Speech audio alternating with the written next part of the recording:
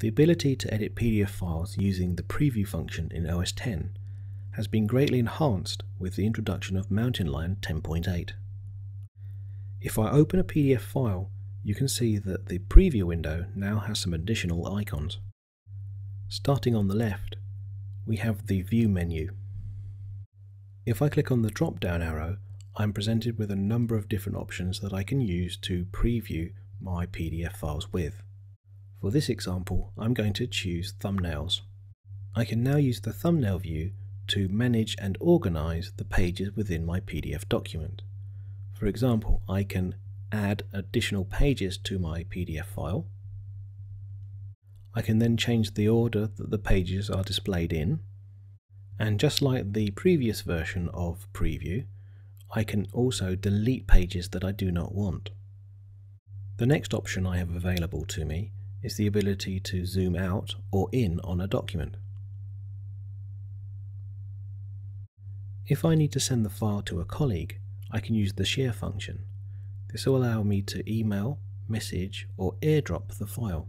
However, before sending the file, I might want to use the markup function to make amendments to the PDF file that I have open. As you can see here, I can choose different colours that I can use to highlight my document with.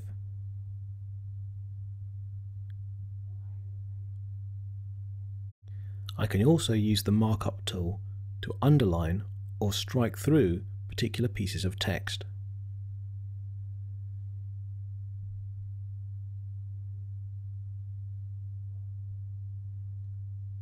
If I need to adjust the orientation of a page within the PDF file, I can use the Rotate button.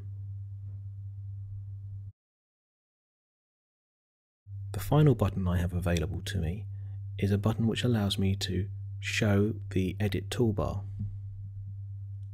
The Edit toolbar allows me to create objects like circles or squares, lines and arrows, text boxes, speech bubbles, thought bubbles,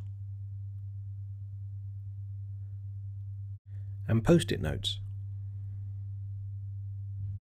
You can include signatures for forms, change the color of objects, and finally adjust text. All of these features makes the preview function within OS X an incredibly powerful tool, and is particularly useful if you happen to edit PDFs on a regular basis.